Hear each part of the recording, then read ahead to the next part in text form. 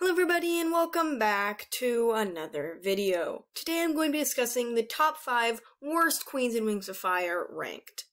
Throughout the course of the series, we see a lot of fantastic queens like Thorn, Glacier, Snowfall, Moorhen, Ruby, and Hazel, but there are quite a few queens throughout the history of Pyrrhia and Pantala who weren't the greatest rulers.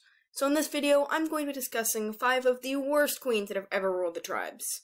Each one gets worse than the previous, so I'd recommend sticking around until the end.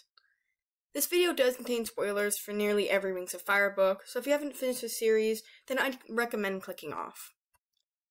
Also, before we start the video, huge shout out to my patrons! Crazy Roblox Man, LordIsopod, Dragolover95, Springtail Productions, and Three Moons. Thank you guys so much for supporting me. Links to their social medias are in the description down below. Anyways, without further ado, let's get into the video. Coming in at number 5 is Queen Coral of the Sea Wings. As many fans have pointed out, she can be quite abusive and is easy to manipulate, as shown when Blister could easily bend Coral to her will in order to get what she wanted. She's not higher on this list due to the fact that she doesn't really have malicious intent in her actions, but she's still considered an awful queen. From threatening her own daughter if something happened to her egg, to even murdering subjects in front of her youngest dragonet out of anger, I think it's safe to say that Coral is not a great queen. She also doesn't really care about her subjects, simply dismissing a deadly injury as nothing more than just getting blood on one of her favorite rugs. That doesn't sound messed up. I don't know what is. Coral is incredibly selfish, easily manipulated, and even resorts to straight up brutality if a dragon disobeys her, accidentally or not. Number 4 on the list of worst queens is Queen Battlewinner of the Nightwings. Though we only got to see her briefly, it didn't take long to hate this awful dragon. She was totally willing to take over the rainforest if it meant that her tribe could be safe, showing no concern at killing the entire tribe of Rainwings if needed.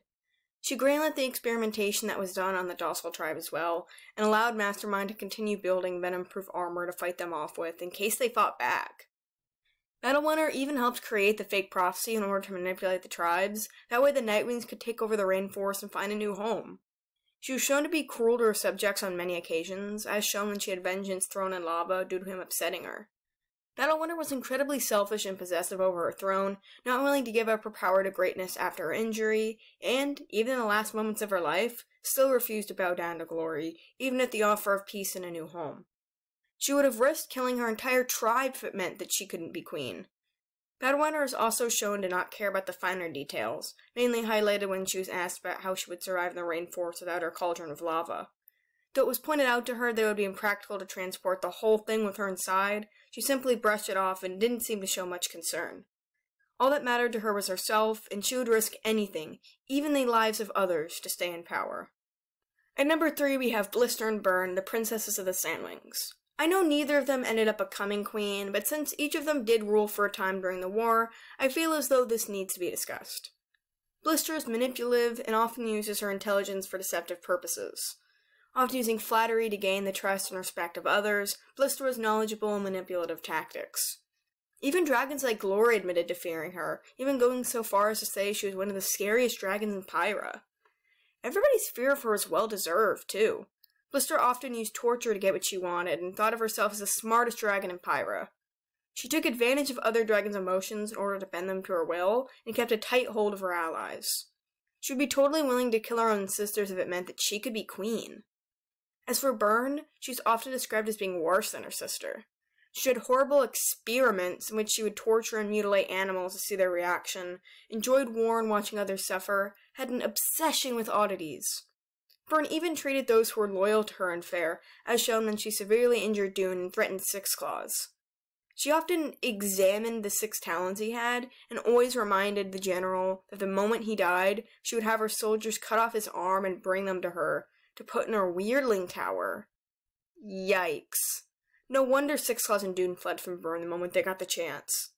And to make matters worse, she collected oddities and stuffed them to observe in her weirdling tower. From hybrids to humans to dragons with genetic mutations, anything that fascinated her would soon meet its end.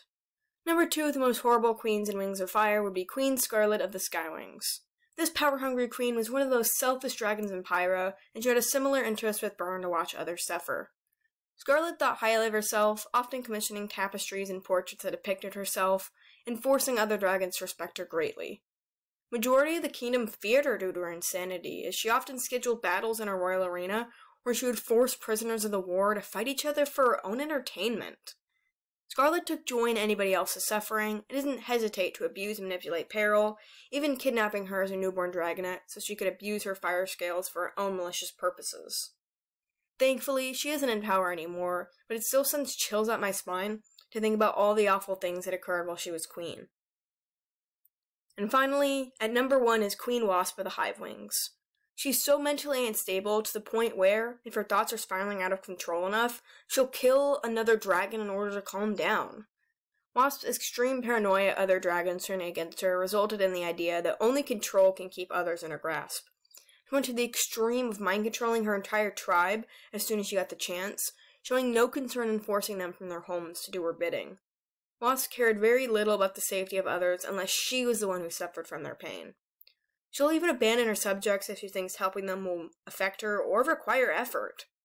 Instead of killing her prisoners, she would often capture them instead and force them to be soldiers in order to do her bidding.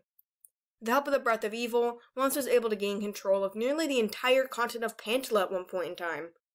She has such a huge grasp on her subjects, not only with the other mind controlling them. She deceived her tribe for years into thinking that the Book of Clearsight wanted her to be the queen and decimate all of the Leafwings, even going to extremes in order to prevent the truth from being out. She forced the Silkwings to agree with peace treaties and behave as slaves to the Hivewings, believing that they were the superior tribe. If Wasp had a position of power, she would always abuse it in order to get what she wanted. She considers herself evil, living by the ideology that the world is evil and she must be the most evil in order to survive. Anyways, what do you guys think? Let me know down below. Thank you guys so much for watching, and I'll see you in the next video. Bye.